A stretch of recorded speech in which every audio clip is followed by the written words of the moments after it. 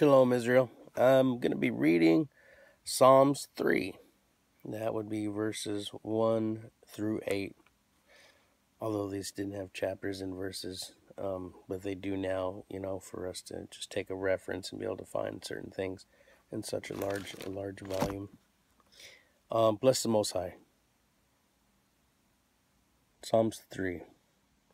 O Yahweh, how my adversaries have increased. Mind you, this is most of you already know. This is Dawid, King David, if you will, for those who don't know. I'll start over. O Yahweh, how my adversaries have increased. Many rising up against me. Many are saying of me, There is no deliverance for him in Elohim. Selah.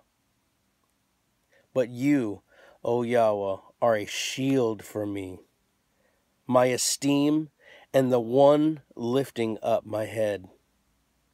I cried to Yahweh with my voice, and he heard me from his set apart mountain, Selah.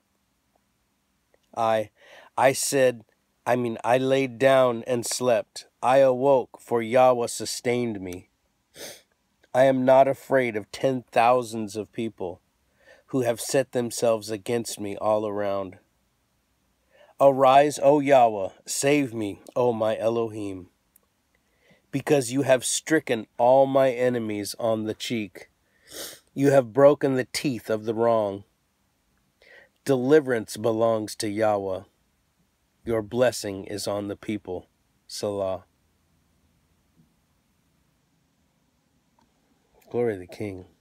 Shalom.